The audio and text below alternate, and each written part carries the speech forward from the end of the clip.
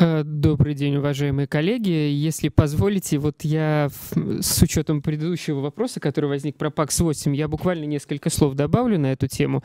А, да, у нас не было в практике ПАКСа 8, но у нас был, мне кажется, не менее интересный и трудно объяснимый случай э, атипичного карциноида легкого с экспрессией МАМ-1. Ну, в общем, многим хорошо известно, что МАМ-1 — это маркер, э, прежде всего, ассоциированный с гемопоэтической тканью, с, с лимфоидной тканью конкретно. Вот, и, собственно, его как бы аббревиатура расшифровывается как multiple myeloma 1.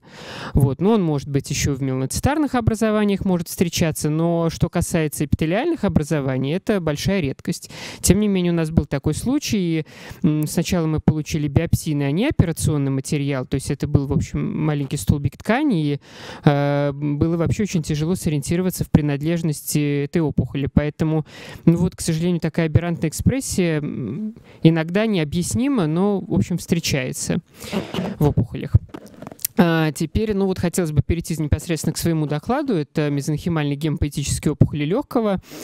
А, ну вот в контексте моей тематики есть э, две как бы проблемы. Первое это то, что, если честно, а, классификация, если вы обратили внимание, несущественно изменилась вот с предыдущего издания.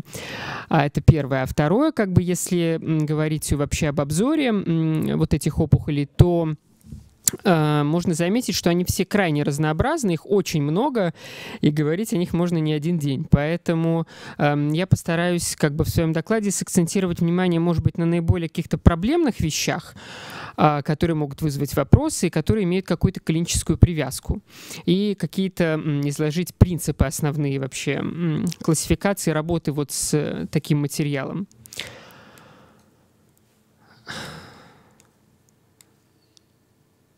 Эм, ну вот, собственно, на этом слайде, да, мы начнем именно с мезонхимальных опухолей. Вы можете видеть э, перечень, который предлагает сейчас э, ВОЗ. А, ну вот мезонхимальная опухоль легкого, да, тут как бы далеко не все представлены, потому что, в принципе, нетрудно как бы себе представить, что Э, легкое могут поражать практически любые а, мезонхимальные опухоли. А, Причем, ну, как правило, во всех возрастных классификациях, в том числе и по легкому, в конце указывается э, тот факт, что ну, вот, конкретный орган может вовлекаться и вторично в злокачественный процесс. И не всегда это легко понять, что он вторичный, не всегда это очевидно в биопсии, поэтому об этом необходимо помнить, и поэтому об этом тоже пишут в классификации. А иногда вообще тяжело понять, это первичный или вторичный процесс даже после дополнительных методов исследования. А, вот, ну и поэтому, собственно говоря, из этого следует, что этот список очень неполный. Здесь представлены только основные, наверное, наиболее специфичные чисто для легкого такие эм, варианты. Ну вот первые два доброкачественных, это гомортома и хондрома, мы о них э, поподробнее поговорим. А потом это лимфангиоматоз, э, вот его не следует путать с лимфоангиолеомиоматозом, который, как вы обратили внимание, э, как бы в отдельной категории находится именно пикоматозных опухолей вместе с, собственно, с пикомой легкого. Вот. Потом, собственно, специфичная, да, такая опухоль плевропульмональная бластома. А, собственно, пульмонарная, э, ну, либо, как это сказать по-русски, легочная э, эм, интимальная саркома, ну, вернее, легочная артерия, но она просто в пределах легкого тоже может локализоваться э, в крупных сосудах. Потом, собственно говоря, врожденная перебронхиальная миофибробластическая опухоль эм, и первичная легочная миксоидная саркома, вот соответствующая перестройка EWSR1, CREB1. Это вот, собственно, фузия, которая происходит в результате этой перестройки. Ну, сейчас мы немножко подробнее о, об этих вариантах поговорим.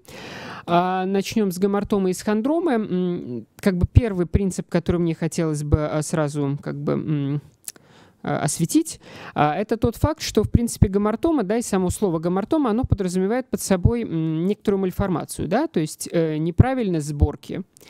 А, и вообще, как бы термин гемортоматозность используется именно обычно в этом контексте. А, в принципе, если подходить чисто гистологически к гомортоме легкого, то э, это, в общем, действительно так. То есть э, мы видим узел да, новообразования в легком, которое представлено смесью, э, который, ну, смесь этих тканей разным образом скомпонована, смесью тканей, характерных для этого же органа. То есть вы видите вот на, собственно говоря, на первой микрофотографии и эпителий э, респираторного типа. А вы видите хрящ, который вполне встречается в стенках э, бронхов, да. Вы видите жировую ткань, фиброзную ткань разной степени зрелости, как, ну, какие-то участки как более примитивные мезенхимы выглядят. То есть, в принципе, все, э, все эти виды ткани, они, в общем, характерны для легкого, но неправильным образом э, организованы. И, в общем-то, в принципе, изначально это и считалось мальформацией. Однако потом э, удалось найти там определенные перестройки а, генетические. Это в основном транслокации а, разного вида у разных пациентов, которые позволяют, э, в общем, подтвердить все-таки в большей степени опухолевую природу вот этого новообразования. Вот. Но это, в общем-то, не единственный пример, э, в принципе, когда пересматриваются взгляды на то, является образование в большей степени как бы пороком развития или в большей степени именно неопластическим клональным процессом. Вот. Эм, ну, это, в общем, новая информация, но, в принципе, известно и давно было, и до того, как она появилась, что, тем не менее, клинически эм, э, это образование течет доброкачественно. Это, в общем, самое главное. А, и достаточно его, собственно, иссечения, практически вылучивания узла, и, в общем, редко когда обнаруживаются рецидивы после успешного иссечения. Вот. Э, ну и, в общем, близкое по свойствам э, образования к э, гамма-артоме это хандрома легкого. А, в принципе, отличие заключается в некоторых тонкостях гистологических в большей степени. Ну, то есть с хандромой тут, в общем, особенно не возникало вопросов. Она в большей степени клональная либо мальформационная, да, новообразование. Ну, здесь вот гистологические тонкости в дифференциальном диагнозе это, как правило, вот отсутствие вот этих инвагинатов эпителия, да, характерных для гамартомы. И, конечно, из всех мезонхимальных компонентов, нетрудно догадаться, исходя из названия, преобладает в основном хрящ, зрелый. А, то есть главное нам с вами убедиться и в том и в другом случае, что ну, нету таких абсолютных признаков злокачественности, да, абсолютных в смысле там атипичные метозы, например, да, или что, например, э, в лакунах вот хряща там содержится там 6, 7, 8, то есть большое количество а, хондроцитов, да, то есть этого как бы мы с вами видеть не должны, а другая вариабельность как, например, там вот костная метаплазия, которая, кстати, на второй микрофотографии видна, это, в общем, вполне себе может встречаться и не всегда скажем так, категоричен э, строгий дифференциальный диагноз между этими двумя новообразованиями, потому что, в принципе, прогностически э, они очень близки, и подход к ним тоже более или менее одинаковый. Вот. Ну вот еще тут э, есть на слайде э, одна такая тонкость. Это, в общем, э, триада Корнея. Как бы, в общем, все, наверное, слышали про синдром Корнея. Вот, но э, как раз вот ряду Корнею не стоит путать с синдромом Корнея, потому что синдром это именно как бы генетический, э, такой э, связанный с мутацией, да, синдром. А триада Корнея это синдром, э, который действительно ассоциирован с, тоже с некоторыми генетическими нарушениями, но не с мутацией. Во всяком случае, не с герминативной мутацией. Он связан с уже изменениями регуляции действия гена, то есть с эпигенетической регуляцией активности гена. Э, это, в общем, проявляется этот синдром э, Э, хондромой легкого, э, параганглиома, которая локализована вне надпочечников, э, и гастроинтестинальной стромальной опухолью. Вот, собственно, такая триада, ну, чаще всего именно в ее контексте и имеет место хондрома легкого. А, ну, поговорим сейчас о пикоматозных опухолях. Эм, собственно говоря, почему я тут в кавычки взял это слово, потому что, понятно, это такая просто транслитерация, вот, в общем, с английского языка, э, имеется в виду опухоль из так называемых переваскулярных как бы, клеток. Вот. Эм, замечено было давно, что, в общем, эти опухоли проявляют э, двойную дифференцировку. Э, то есть они эм, окрашиваются при иммуногистохимическом исследовании маркерами как гладкомышечными, так и меланоцитарными. Причем как бы это широкий спектр меланоцитарных маркеров и S100, и МИТВ, э, и ЧМБ-45, и Мелан-А. То есть, в общем, это довольно подозрительно. И при неоднозначной морфологии, когда приходится дифференцировать с меланомами, да, что вполне тоже себе можно встретить в легком, а, это реально может объективно быть э, проблемой. Однако все-таки вот, э, скажем, экспрессия гладкомышечных маркеров э, в данном случае помогает, она все-таки не характерна для меланом. А, ну и тем не менее морфологически тоже, э, в общем, все-таки, к счастью, в подавляющем большинстве ситуаций э, они все-таки морфологически отличаются от, э, скажем так, от стандартных меланом. Ну, чаще всего, конечно, меланомы в легком это все-таки не первичные, да, из эктопической ткани, а все-таки метастатические. Вот. И вот, собственно говоря, эти вот пикоматозные опухоли, они как бы представляют из себя группу опухолей. Для легкого характерны две основные разновидности. Это вот лимфангиолеомиоматоз, и вторая это, собственно, пикома. Ну, лимфоангиолеомиоматоз, собственно, из названия следует уже, это как бы нетрудно догадаться, что это диффузный процесс в виде как бы такого узелкового поражения легкого, но кроме таких узелковых пролифератов еще и э, происходит образование кист, э, что сказывается на рентгенологической картине. То есть это как бы уже иногда можно заподозрить и рентгенологически. А, заболевание, в общем, нехорошее, и если как бы посмотреть в ВОЗовскую классификацию, то в последнем мы, в общем, долго думали, как это расценивать, как какой-то реактивный процесс, как опухоль с неопределенным потенциалом злокачественности, а, а теперь вот даже в, собственно, классификации легкого, последний, э, там стоит э, значит, указатель, что это дробь 3, то есть что это как злокачественный опухолевый процесс следует трактовать.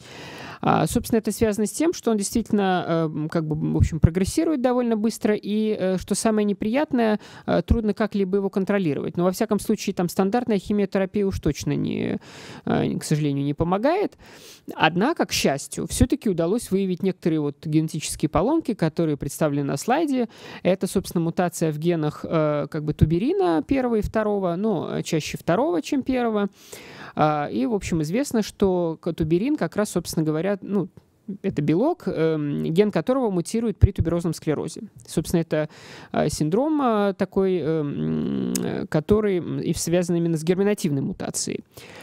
А, и, в общем, в данном случае лемфоангиолеомиоматоз – это не единственная опухоль, которая у таких пациентов возникает. В том числе у них, например, имеет место дисплазия, собственно говоря, вещества головного мозга и потом с дальнейшим развитием глиом. Поэтому это, в общем, такой достаточно неприятный синдром, который, э, при котором пациент страдает сразу от разных опухолей и э, часто трудно поддающихся терапии, и быстро э, этот синдром приводит к эм, полиорганной недостаточности.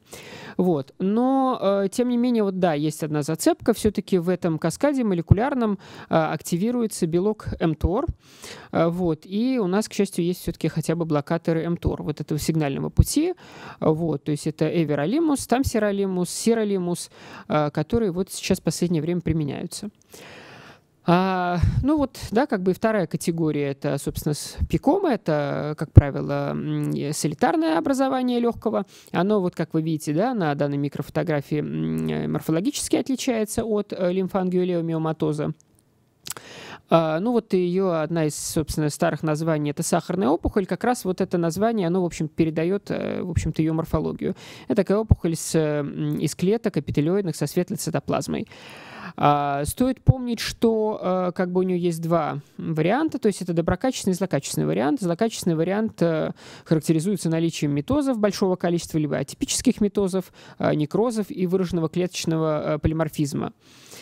А, ну вот еще стоит как бы, может быть, э, такую одну ремарку внести, что, в принципе, да, вот к этой э, такой крупной группе э, пиком э, еще относится ангиомиолипома э, почки, э, в принципе, и у нее тоже как бы в, этой опухоли, хотя из названия следует, что она состоит в основном несколько из других компонентов мягкотканных, да, то есть там жировая ткань, сосудистая, гладкомышечная, в меньшей степени вот представлена таким вот светлоклеточным паттерном, как это в легком происходит. А, тем не менее, там светлоклеточный тоже такой компонент встречается. А, в почке, например, это бывает проблема, если он выражен дифференциального диагноза светлоклеточным раком почки.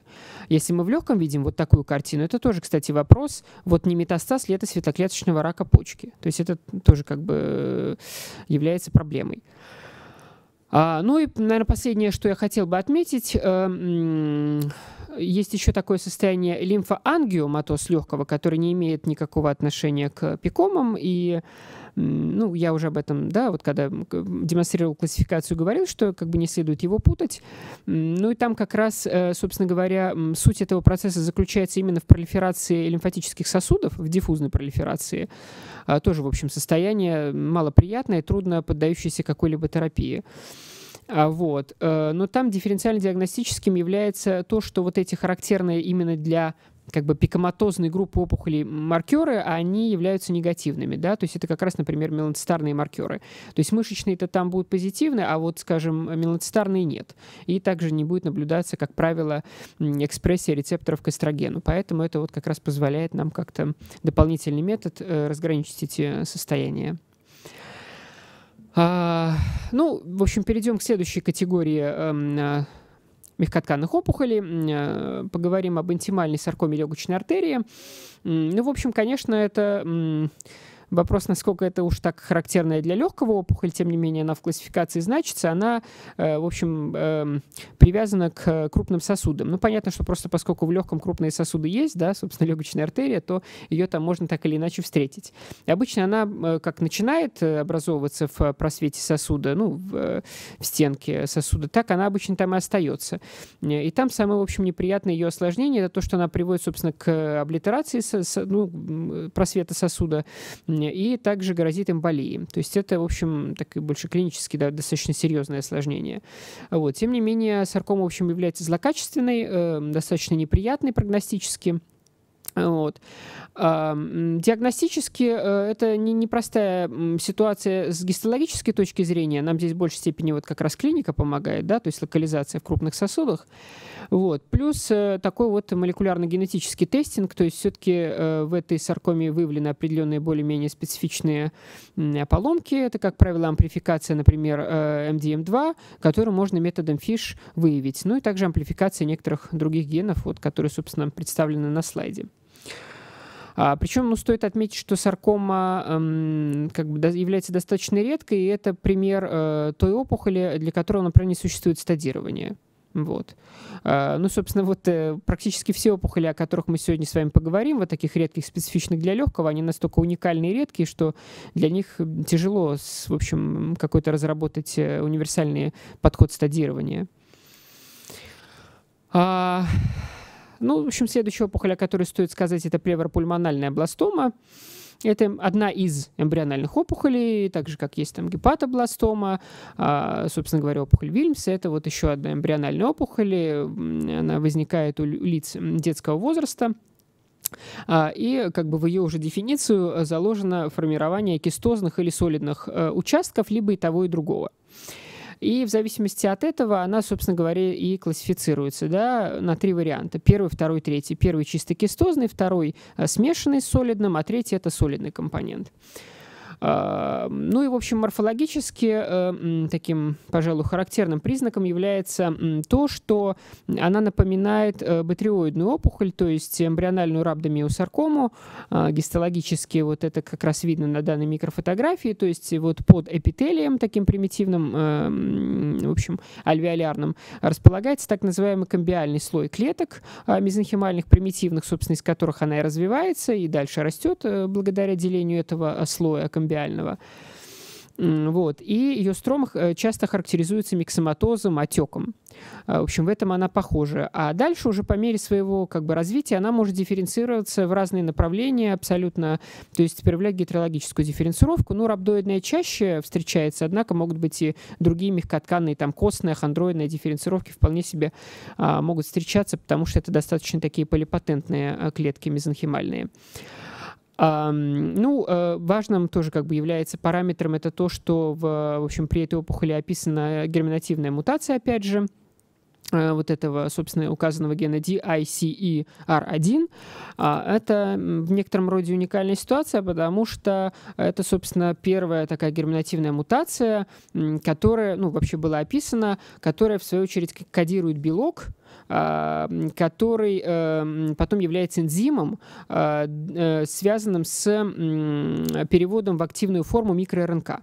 То есть вот что касается микроРНК, да, его модификации, это вот была первая такая герминативная мутация, участвующая в э, его процессинге или, наоборот, нарушение процессинга.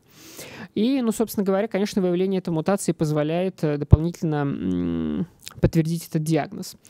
Еще как бы хотел бы тоже сделать одно пояснение такое, то, что может представлять диагностическую вообще сложность. А вот кроме первого, второго, третьего типов, да, э, выделяют еще так называемый э, регрессирующий вариант, первый регрессирующий, когда, ну, первый у нас чисто кистозный, а первый это когда регрессирующие э, у нас как бы кисты. Это, в общем, этот вариант, он встречается у лиц более старшего возраста, у которых, например, э, ну, в связи с как бы отсутствием вероятно острой клинической необходимости в диагностике просто были выявлены на раннем этапе да, там, жизни какие-то кисты в легком, они не подверглись диагностике, то есть они просто за ними там производилось наблюдение, а потом, например, либо, ну, поскольку они как бы морфологически, клинически могут похожим образом себя вести с булами, например, произошел разрыв, там, пневмоторакс, допустим, была удалена эта ткань. И мы видим паттерн, ну, в некотором смысле похожий на вот эту опухоль. А, но при этом мы не видим, а, собственно, вот того солидного совсем компонента а, мезонхимального вообще. И при этом имеем дело с человеком уже достаточно зрелым, и видим, что как бы это не прогрессирует как саркома. Эм, это реально проблема с точки зрения дифференциального диагноза с булами с реактивными процессами, э, вот, э, либо, может быть, с какими-то мальформациями в легком. Поэтому это такой, как бы, такая область, на которой нет э, однозначного ответа, как здесь быть. Ну вот в данном случае, возможно, как раз а, такой генетический тестинг поможет разобраться. Это все-таки мы имеем дело с этой опухолью, или это больше какая-то мальформационная история, или там булы, или что-то в этом роде. А, вот еще одна опухоль, э, тоже достаточно редкая, это опять же специфичная для легкого. А, врожденная перебронхиальная миофибробластическая опухоль. Она формируется в период еще беременности, либо, в общем, буквально сразу через некоторое время после рождения. А, ну, собственно говоря, как бы гистологически она представляет из себя ретиноклеточную опухоль а, из достаточно мономорфных клеток. Вот. Но, однако, как бы таким неприятным фактором является достаточно высокая метатическая активность. Еще более неприятным фактором является то, что э, случаев с этой опухолью вообще как бы в литературе описано очень мало. А, в связи с этим трудно понять, вот эта высокая метатическая активность, она как бы реально является здесь клинически значимой, или нет? Ну, потому что мы часто имеем дело с реактивными процессами с довольно высокой метатической активностью. А, тем не менее, текущих, ну, как бы не злокачественно. Вот, поэтому она, видите, называется так, пока еще неоднозначно, не саркома, а опухоль. Вот. Но пациентов просто очень мало, поэтому, возможно, в какой-то момент, когда этих пациентов будет больше, мы сможем более определенно сказать вообще, какой у нее прогноз, как с ней быть, как вести себя с ней. А, вот. Но, тем не менее, у нее уже удалось описать некоторые перестройки, поскольку сейчас, в общем, генетическое тестирование является таким основополагающим при такого рода исследованиях. А, вот, поэтому нее уже успели, например, зафиксировать перестройки а, гена NTRK. А, собственно, это делает ее э, близкой, как минимум, к NTRK перестроенной, в общем, мягкотканной эм, опухоли, тоже миофибробластического ряда. А вот еще есть такой вариант, почему я об этой опухоли э, говорю после того, как мы с вами только что поговорили о плевропульмональной бластоме, э, поскольку там вот в этом спектре есть еще одна опухоль, которая даже в ВОЗе не выделена как бы как отдельная рубрика. Это фетальная легочная интерстициальная опухоль. Э, для нее, в общем, описаны перестройки гена АЛК. Так же, как, кстати говоря, и э, перестройки АЛК в воспалительной э, миофибробластической опухоли, которая тоже, кстати говоря, довольно э, чиста в легком. Вот. Э, просто были замечены ситуации, как бы морфологически э, очень похожие вот на эту опухоль, да, ну, пока провизорную единицу, перебронхиальную миофибробластическую, тем не менее с перестройкой МЛК. Поэтому это еще один вопрос, вот неоднозначный, в котором предстоит разобраться. Это спектр опухоли, это одна и та же опухоль, или это все-таки разные единицы с похожей морфологией? Это, в общем, такой пока неоднозначный вопрос. А, еще одна, опять же, опухоль, тоже совершенно уникальная, редкая, э, первичная легочная миксоидная саркома вот с э, указанной фузией EWSR1, CRE-B1. Вот. Э, это, как правило, эндобронхиальная опухоль, но которая, в общем, проблема в ее диагностике заключается в том, что ее иммунофенотип не специфичен.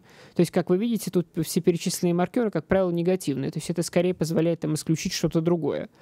Вот. Ну, правда, вот есть экспрессия эпителиального мембранного антигена, разве что, в большинстве случаев. А, вот. Эм, но для нее важным является тот факт, что там, в отличие от эм, опухолей, названных ранее, э, про нее хотя бы более-менее понятно, что она, как правило, эм, ведет себя клинически, ну, более или менее доброкачественно, хотя, в общем, является саркомой, но обычно достаточно резекции. То есть метастазы могут быть, но очень редки. То есть это такая саркома low-grade с низким потенциалом злокачественности. А, и, собственно, и морфологически тоже ее, в общем, гистология редко демонстрирует high-grade черты, да, то есть там метозы в большом количестве, либо э, там эм, ядерный полиморфизм редко встречается в этом случае. А так, в принципе, вот такая опухоль с эндобронхиальным ростом, здесь нам немножко помогает клиника, э, как правило, ограниченный процесс, вот с такой достаточно э, мономорфной морфологией, с таким миксоидным матриксом, ну, как-то вот совокупность этих данных позволяет, в общем, сориентироваться с нозологической единицей. А, ну, теперь, пожалуй, перейдем к гемопоэтическим опухолям. Э, они, в общем, э, наверное, может быть, в каком-то смысле еще более обширная группа. А, вот, поскольку, ну, легкая, да, вот имеет вот эти вот названные, скажем так, саркомы, которые мы с вами сейчас обсудили, но каждый из них встречается очень редко. А вовлечение легкое в, э, ну, в общем, в гемопоэтический процесс опухолевый встречается несколько чаще. Вот. И при этом э, гемопоэтические опухоли крайне разнообразны, и тут можно вообще далеко не один день говорить, поэтому я бы хотел хотя бы сначала крупно обозначить группы, чтобы хотя бы иметь представление, с чем можно вообще столкнуться ну, как бы в материале легкого. А, ну, собственно, гемопоэтические опухоли, да, вот вообще можно подразделить на три группы, да, то есть это лимфоидные опухоли, собственно говоря, да, лимфома, это гистиоцитарные опухоли и опухоли миелоидные.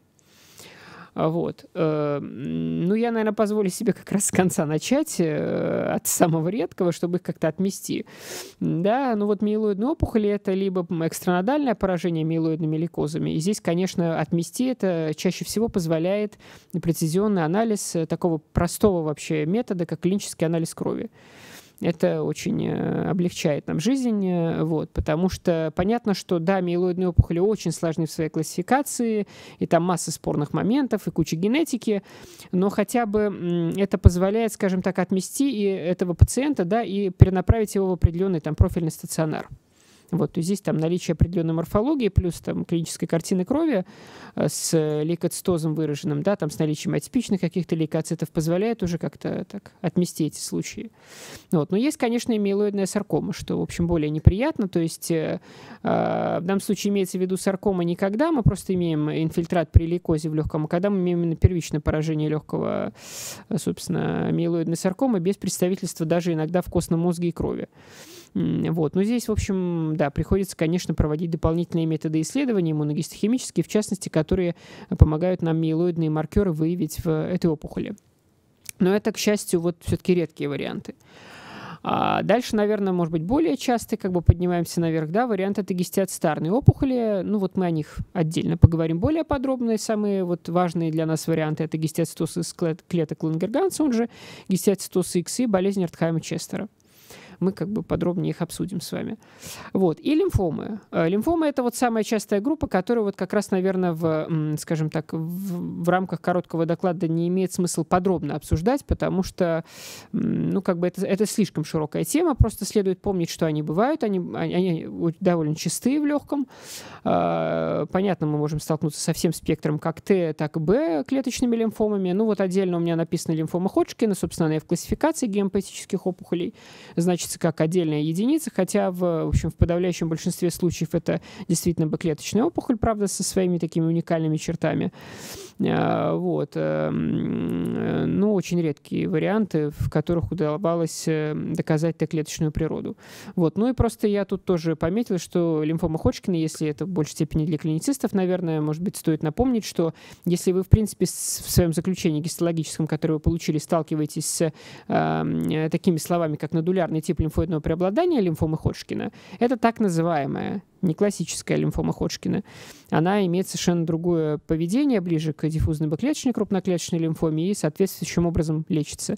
То есть это как бы информация, которая не лишена смысла, это важная информация для клинической тактики. Это просто мне хотелось, э, хотя бы затрагивая вообще эту группу опухоли, хотя бы напомнить.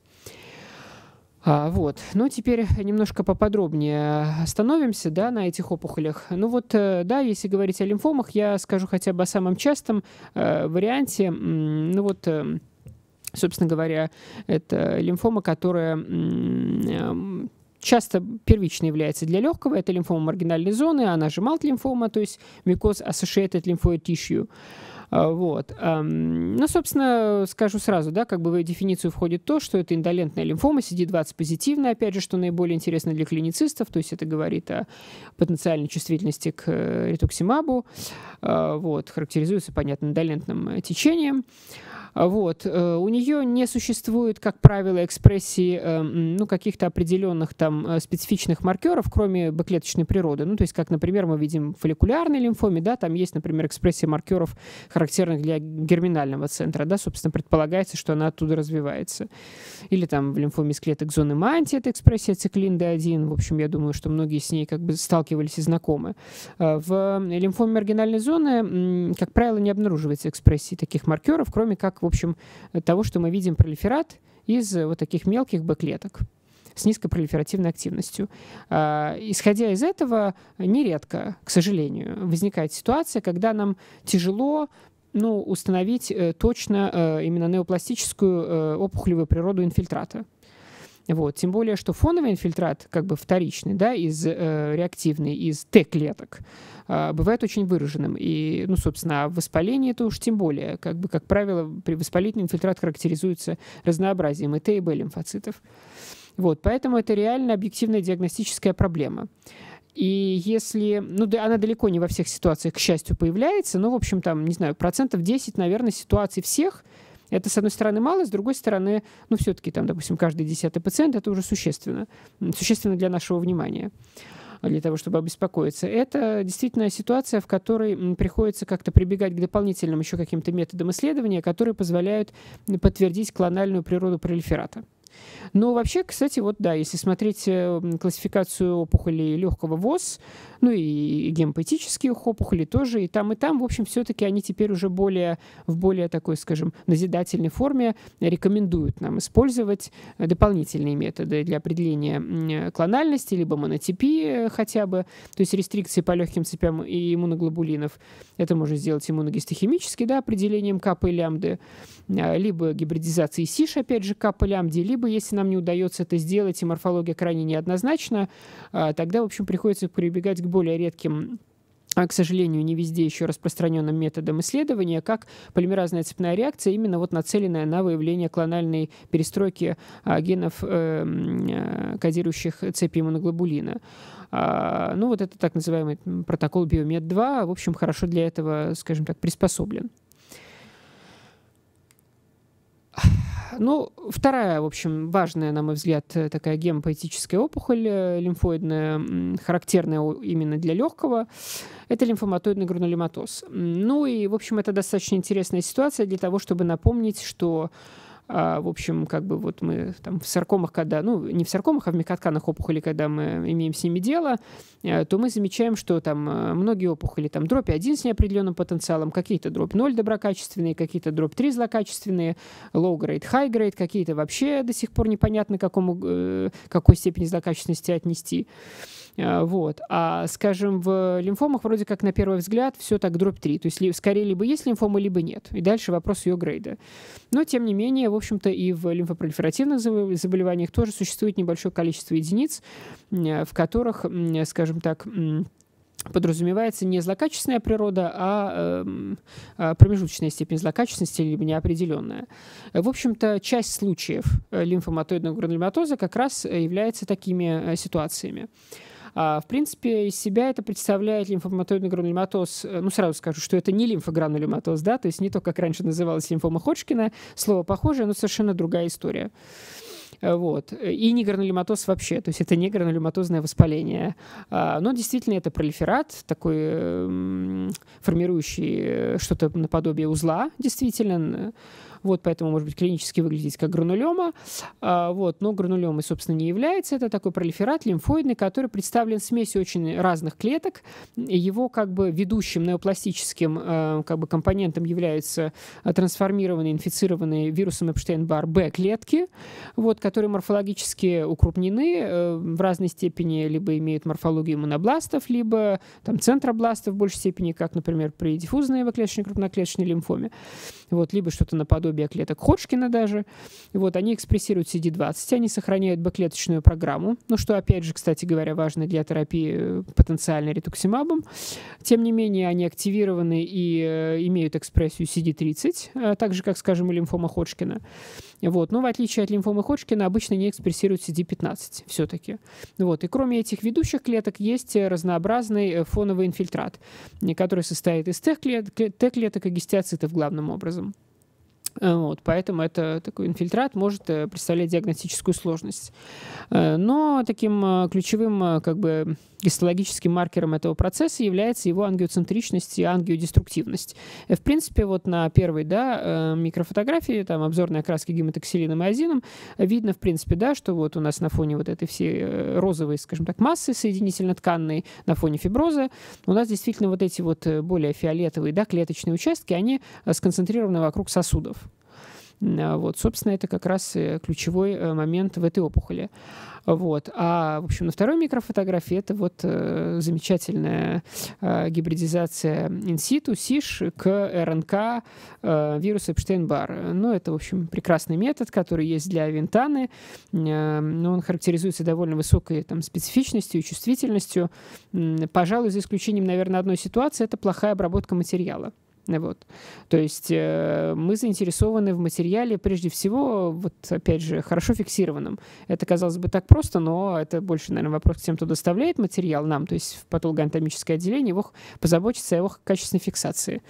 Вот, потому что РНК — это вообще такая структура довольно нежная, которая быстро э, деструируется, распадается, и мы можем потом, э, в общем, не получить позитивную реакцию там, где могли бы ее получить при окрашивании. А в принципе в остальной категории ситуации достаточно чувствительный, очень хороший метод. И легкий в интерпретации. А, тем более, что, в общем, грейд, да, Эм, ну, то есть степень злокачественности лимфоматоидного гранулематоза, и, соответственно, его как бы форма злокачественная и э, с промежуточным потенциалом злокачественности как раз разделяются в зависимости от количества вот этих вот опухолевых Эпштейн-Бар позитивных клеток, приходящихся на как бы определенную площадь. То есть вот как раз э, границы это 40 и 400. Э, Эпштейн-Бар позитивных клеток на миллиметр квадратный, ну, в пересчете там на ваше поле зрения микроскопа. Вот, то есть, э, как бы все, что меньше 40, это грейд 1, все, что грейд 2, это между 40 и 400, а все, что больше, это грейд 3, и как раз уже рассматривается как злокачественный, в общем, лимфопролиферативный процесс, то есть, в общем, как полноценная развернутая лимфома. А, вот такая специфичная нозология. В общем, легкая, достаточно характерная локализация для этого процесса. А, ну, в общем, э, дальше перейдем, наверное, все-таки уже к гистиоцитарным опухолям, которые тоже именно вот специфичны для легкого. Эм, это болезнь Артхайм-Честера, которая вызывает массу вопросов и проблем диагностических и, и тактических. А, вот, потому что долгое время вообще как бы было непонятно, опять же, как трактовать это, это состояние, это вообще реактивный процесс или это опухоль. Если опухоль, опять же, то какая, дробь 1, дробь 3, в общем, было непонятно. Сейчас с болезнью Ротхайма-Честера, в общем, более или менее решили, что она быстро прогрессирует, плохо поддается терапии, прогноз у пациентов, к сожалению, плохой, поэтому, в общем, назвали ее злокачественной опухолью. Все-таки вот буквально в последних пересмотрах разных классификаций, э, ну, как бы она не только в легком встречается, везде, где она встречается является. А, вот. Эм, но, тем не менее, у нее есть еще одно такое состояние близкое, которое, в общем, пока до сих пор еще вопрос, является ли полноценной опухолью. А гистологически очень похоже. Это ювенильная аксантогранулема. А как бы гистологически это, в общем, пролиферативный процесс из гистиоцитарного вида клеток, вполне таких не, не особенно чем, чем-либо выделяющихся, э, кроме пенистой цитоплазмы.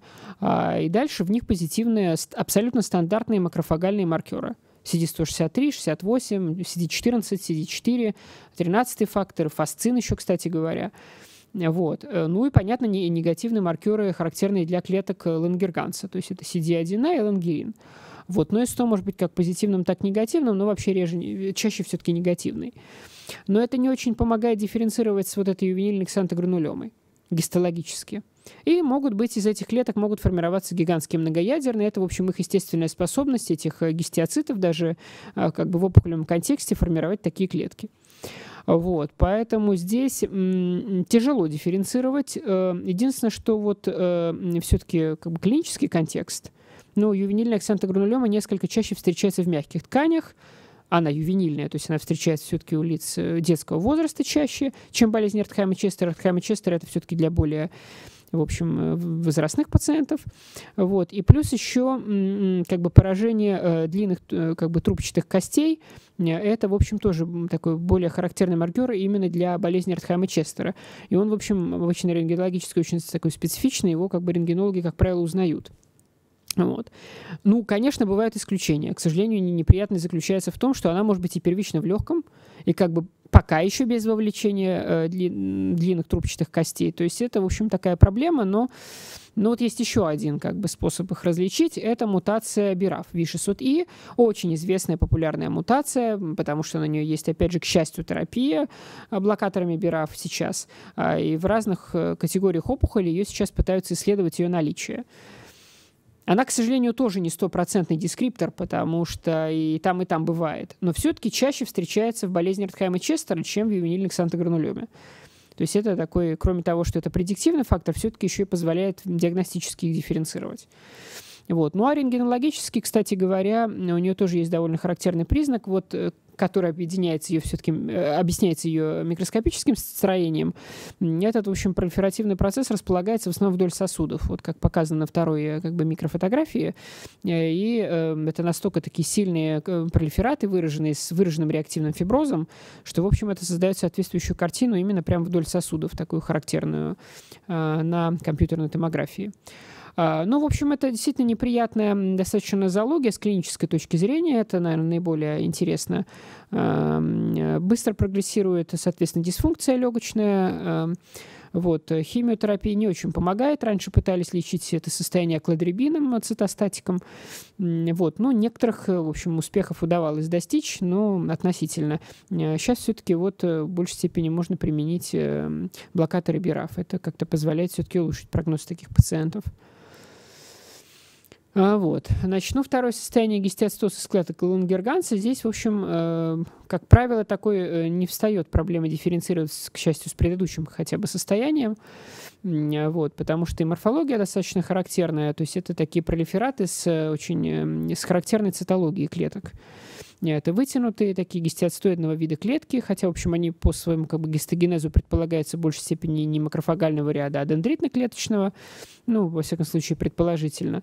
А вот у них такие вытянутые ядра с бороздками, э, ну, кто-то это, в общем, сравнивает с таким свернутым, скрученным полотенцем, кто-то с э, кофейными зернами, вот, и э, достаточно характерным таким, характерной чертой является выраженная фоновая узинофильная инфильтрация, вот, вплоть до образования узинофильных абсцессов вот. Ну и тоже и как бы иммуногистохимические, как я уже сказал ранее, да, то есть здесь как раз наоборот. Вот такие макрофагальные специфичные маркеры, они обычно негативны, а, скажем, эстол, ангерин, а, CD1А очень характерны для этой категории а, опухолей. А, вот. А, но другое дело, что здесь как раз вот клинически, наверное, более интересно а, вот не, не вот эти тонкости иммуногистохимические, да, дифференциального диагноза с болезнью Ротхайм-Честера, наверное, а потому что это состояние тоже не очень-то хорошее и может диссеминироваться, поражать разные органы, кроме легкого, а вот как раз наличие бирав. Вот. Единственное, что э, как бы тут стоит сказать, что иммуногистохимия с определ... ну, как бы к мутантному белку бирав вот, кодируемого соответствующим мутантным геном, да, с, перестро... с, как бы, с мутацией V600И, она более, в общем, успешна именно в ситуации гистиоцитоза клеток Лангерганса, чем вот болезнь Артхайма Честера. Там в большей степени как бы иногда приходится прибегать к генетическому исследованию. Вот, но тем не менее она есть и там, и там, поэтому все-таки у нас, к счастью, есть тут, э, в общем, способы, как это выявить, и, в общем, э, хотя бы есть блокаторы БИРАФ. Вот. Ну и напоследок мне такую хотелось бы тоже еще одну внести ремарку, чтобы эм, э, такое дать понимание, что все еще сложнее, чем кажется на первый взгляд ну вот я уже сказал, что, в общем, как бы все, гемо, все лимфоидные опухоли обсуждать трудно, в общем, в коротком докладе, но стоит помнить, что э, кроме вот названных вариантов, э, которые частые э, первичные в легком, вот, ну как бы их в первую очередь мы обсудили, их, о них следует помнить. Дальше может быть все, абсолютно всевозможное вторичное вовлечение легкого в, в общем, другие лимфопролиферативные процессы, самые разные. Ну и, в общем, тут я просто выбрал ситуацию, с которой мы однажды столкнулись. В общем-то, это непростая ситуация. К счастью, у нас был первичный биоптат. Это такая Т-клеточная э, лимфома, эпителиотропная интестинальная, мономорфная. CD8 позитивная из цитотоксических клеток. А, вот. Сложность заключается в том, что если вы, ну, как бы вообще хотя бы так грубо приблизительно посмотрите на классификацию Б-клеточных лимфом, то там более или менее понятно, что есть агрессивные, ну, более или менее, да, есть индолентные. Там, и они как-то худо-бедно привязаны к нормальной дифференцировке Б-лимфоцита, к там, разным структурам лимфоузла, там, из зоны мантии, там, фолликулярные лимфомы, да, понятно, что там из герминативного центра. Ну, как-то там более или менее можно вообще объять эту классификацию, и увидев эти признаки, пусть даже, может быть, как бы, ну, такие ложные, э, связанные с дифференцировкой в биоптате, можно более или менее сориентироваться с диагнозом. То есть, если вы обратите внимание на классификацию Т-клеточных лимфом, она сразу производит впечатление более такой гетерогенной, разнородной, менее системной, э, тяжелой вообще для восприятия, соответственно, для диагностики, потому что понятно, что диагносты ориентируются на классификацию, когда сталкиваются с, э, особенно с редкими вариантами. Вот. И самое главное, что так если присмотреться, то складывается впечатление, что большая часть нозологических единиц привязана к тому или иному, к той или иной локализации. То есть там много кожных лимфом самых разных, э, достаточно много там как минимум 4 штуки специфичных именно желудочно-кишечных вариантов именно Т-клеточных лимфом. Вот э, один из этих вариантов вот как раз представлен на слайде. И понятно, что э, как бы если это как бы ее локализация является ведущим диагностическим критерием, ну, во всяком случае, основным, который позволяет зацепиться и дальше там какие-то применить дополнительные методы, то очень тяжело распознать этот диагноз э, в, э, достоверно в локализации, которая вовлечена вторично, в данном случае в легком. Вот, потому что, в принципе, если ты сталкиваешься с биоптатом легкого, вот как мы и столкнулись, у нас просто, к счастью, был материал до этого желудка, вот, с поражением этой лимфомой, то очень тяжело там не поставить какую-то другую клеточную лимфому или лейкоз. А, вот. Это реально проблема. Поэтому здесь очень важна, очень важна а, клиника, а, морфологическая корреляция. И как бы тут как бы посыл клиницистам для того, чтобы вы нам давали максимум информации. Ну, понятно, что максимум информации, с одной стороны, дать сложно. Тут как бы палка о двух концах. А нам сложно, там, я не знаю, три тома истории болезни э, при работе с одним биоптатом э, проработать, если там у тебя их 20 в день. Это, безусловно, трудно. Э, поэтому, безусловно, нам вряд ли помогут там прививки, которые выполнены этому пациенту в его детском возрасте. Но хотя бы там, например, онкологические заболевания, хотя бы такая важная, крупная, грубая информация, с которыми сталкивался этот пациент, особенно в последние годы, но она является основополагающей и очень важной, с одной стороны. С другой стороны, это посыл к патологоанатомам при наличии такой возможности дополнительно запрашивать у клиницистов эту информацию, потому что она вам может реально очень помочь. Тем более, да, вот как я уже сказал, ну, не всегда легко вот выстроить четкие правила, вот точно какая информация нам поможет, какая нет. Иногда патологоанатомам немножко легче понять, что им поможет, и запросить это дополнительно у клиницистов. Там. А нет ли у пациента вот этого, или не было ли у него вот этого, не болел ли он вот этим. Вот. Поэтому здесь вот э, это реально пример такой очень сложной ситуации, где помогает вот такая вот, эм, скажем, корреляция.